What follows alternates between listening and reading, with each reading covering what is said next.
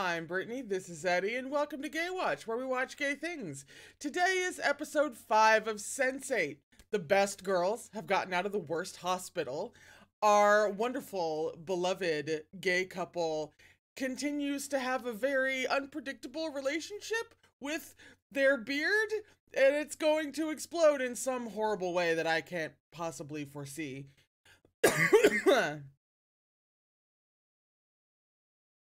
And the valid heteros have now met, kind of, shared a song, what have you. And then there's also about, I don't know, a million other things going on. And so I'm just going to hit play and we're going to keep finding out. There are tons of reasons why films have to shoot out of order.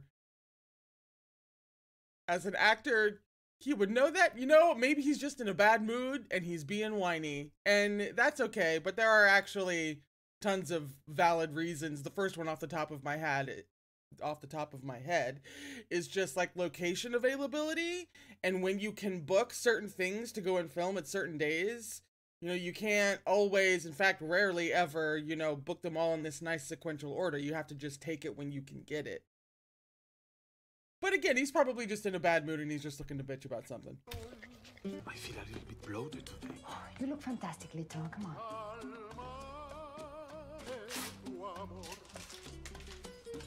I feel you.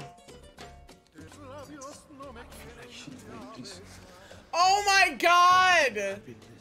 You're kidding! A fucking court!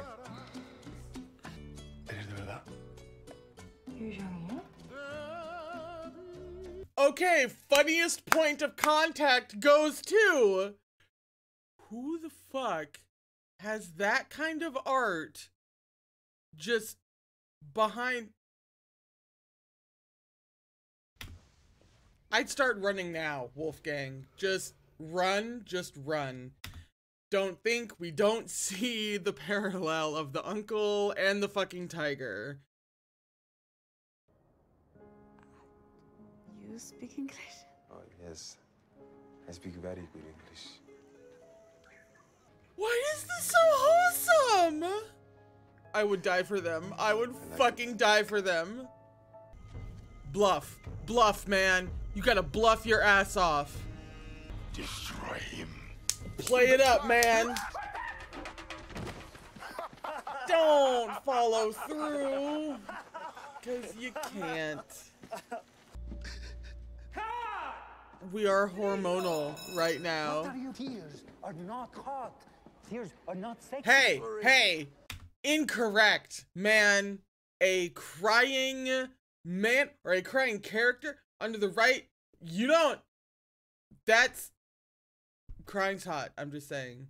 I mean, granted, context, you know, matters, but. Every breath we take. I wouldn't have guessed that menstruation would have pushed him into an existential crisis, and yet I feel him so hard in this moment. I think uh, you're the first in the family, in fact, to marry for love. Never have I seen oh! for... God! Oh! I just want to visit Seoul for fuck's sake.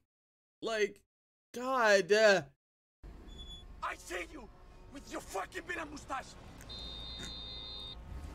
Fuck! Calm down. This is one of the greatest things I've ever seen in my life.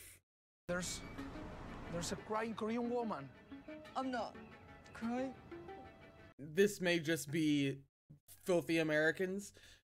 And like in Europe, people aren't this shitty. Mm. But like kudos on him for nailing the fact that she was Korean rather than just being like she's Asian or just like getting it wrong and being like this Chinese woman or you know? Nailed! Nailed it! One try! Americans can't do that man.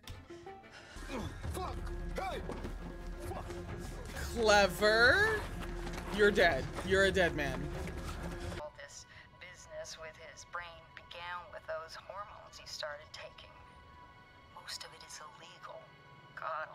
knows what's really inside that Nomi.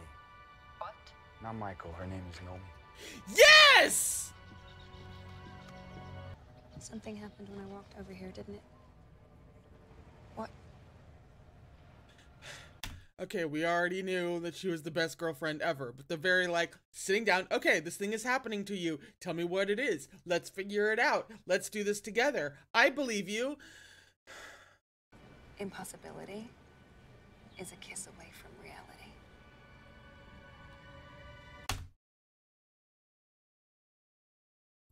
That is going right up there with one of the greatest quotes of film in all time, which is hilarious because it comes from Men in Black of all places.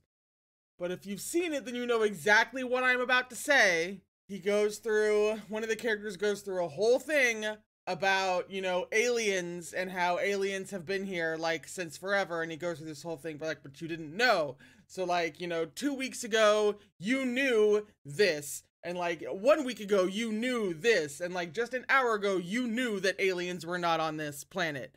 Imagine what you'll know tomorrow. Right? That has been one of my favorite lines in anything ever since forever because it speaks just volumes about everything in existence.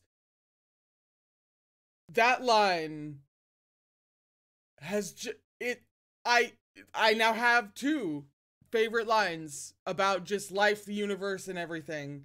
One from Men in Black and one from Sense8. Holy fucking god. Good. Kala, you are beautiful. Yeah, she is. Thanks, Woo, Dad. yeah, she is. I'm okay. Yeah,